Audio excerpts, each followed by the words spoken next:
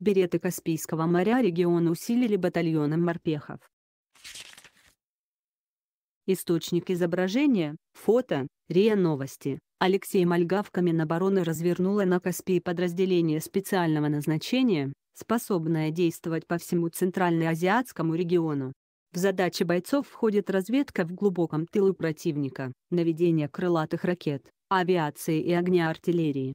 В отличие от обычных морских пехотинцев, они будут обладать большей мобильностью.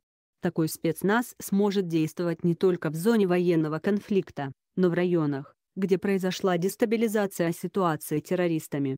Минобороны развернула на Каспии подразделение специального назначения, способное действовать по всему Центральноазиатскому региону. В задачи бойцов входит разведка в глубоком тылу противника, наведение крылатых ракет, авиации и огня артиллерии. В отличие от обычных морских пехотинцев, они будут обладать большей мобильностью. Такой спецназ сможет действовать не только в зоне военного конфликта, но в районах, где произошла дестабилизация ситуации террористами.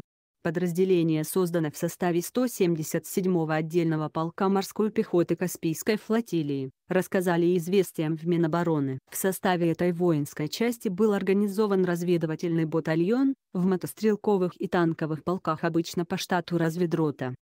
Одна из рот разведбата специального назначения.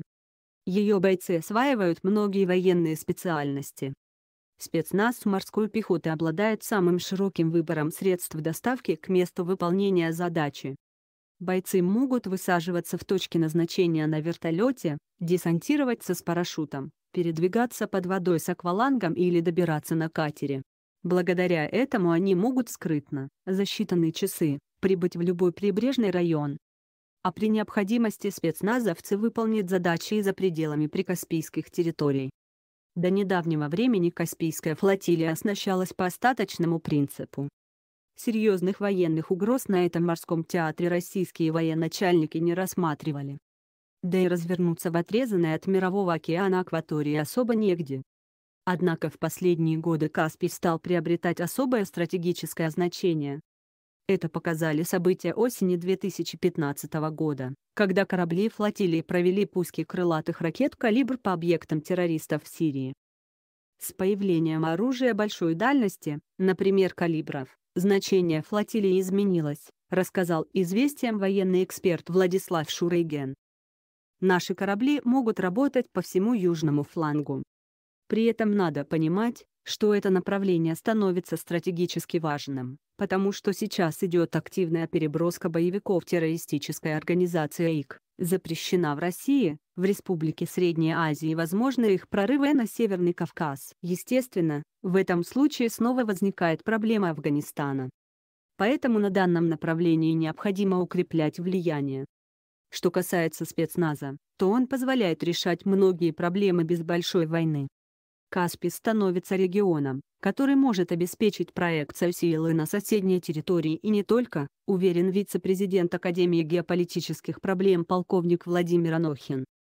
Создание мощной группировки на Каспии обеспечивает безопасность нашего государства на тех землях, где начинает активно действовать ИК, после того как группировку разгромили в Сирии, пояснил эксперт известия. Развертывание здесь сухопутных подразделений предполагает взаимодействие с иранской армией. Это позволит эффективно воздействовать на силы в Персидском заливе, если они будут агрессивно себя вести по отношению к Ираку и Ирану. Морская пехота – это единственный род войск, способный десантироваться и с моря, и с воздуха. Сейчас эти соединения заметно усиливаются и переходят на новую штатную структуру. В береговых частях ВМФ России числится 5 бригад и отдельный полк морпехов. В состав Северного флота входит 61-я бригада, которая дислоцируется на Кольском полуострове. Черноморский флот включает в себя 810-ю бригаду из Севастополя.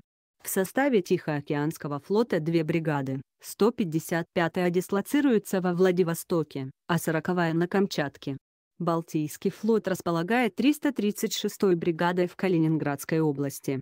В Каспийской флотилии недавно был сформирован 177-й полк, подразделения которого расположились в Астрахани и Каспийске. В перспективе черные береты станут экспедиционными войсками, способными действовать в интересах России за рубежом. Соединения усиливаются разведывательными и танковыми батальонами, а также проходят более оглубленную подготовку по сравнению с мотострелками. В частности, они изучают иностранные языки и тактику действий в локальных конфликтах. В новом статусе морпехи смогут проводить гуманитарные и миротворческие операции, эвакуировать российских граждан и в целом выполнять широкий спектр военно-политических задач.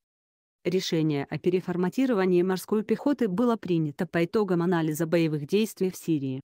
Там черные береты взяли под охрану военно-морскую базу Тартус, а также неоднократно участвовали в выполнении боевых задач. Право на данный материал принадлежат известия. Материал размещен правообладателем в открытом доступе.